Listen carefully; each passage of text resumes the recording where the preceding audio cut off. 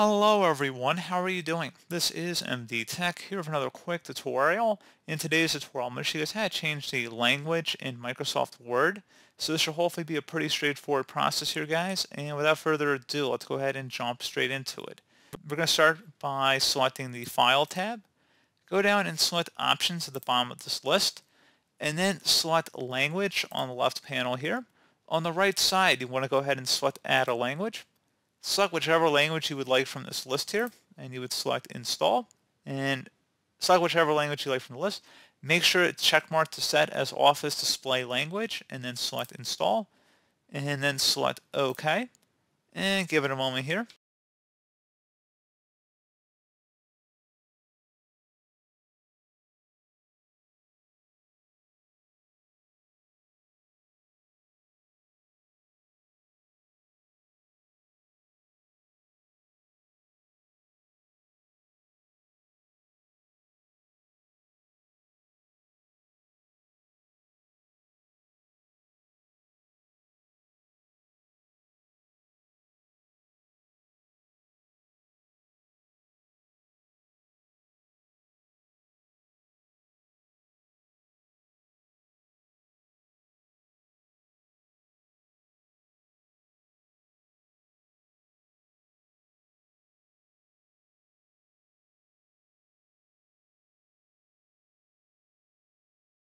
So it's going to ask you to close out of your existing Word document that you might be working on. I'm going to select Continue here, and it should relaunch Word momentarily.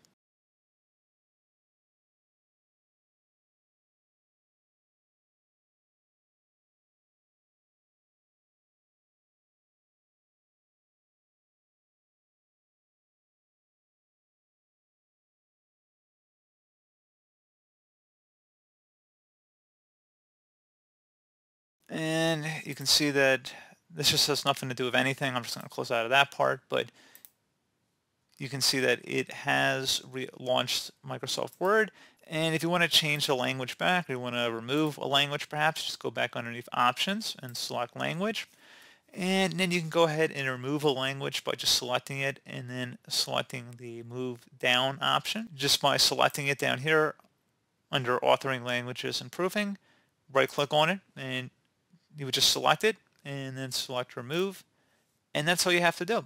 So pretty straightforward process here guys. You would need to restart Office for the change to take effect and that's pretty much it.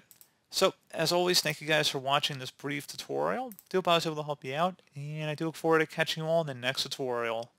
Goodbye.